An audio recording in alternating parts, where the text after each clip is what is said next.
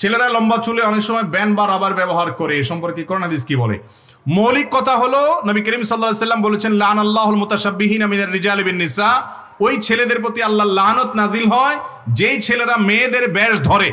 আর ওই মেয়েদের প্রতি আল্লাহ লানত বর্ষণ হয়, যারা ছেলেদের ব্যাস ধরে।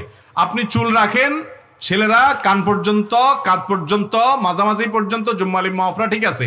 এবং চুল যদি আপনি বেঁধেও রাখেন কিন্তু নারীদের সাথে সাদৃশ্য হয় সেরকম করবেন না। এক কথা, আপনার চুল দেখে নারীরা পুরুষ, এটা নিয়ে যদি সন্দেহ পড়ে যায় মানুষ, তাহলে বুঝতে হবে আপনার সেখানে ত্রুটি আছে।